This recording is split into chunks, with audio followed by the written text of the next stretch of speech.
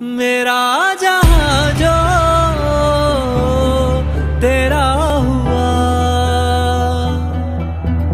हर एक खुशी ने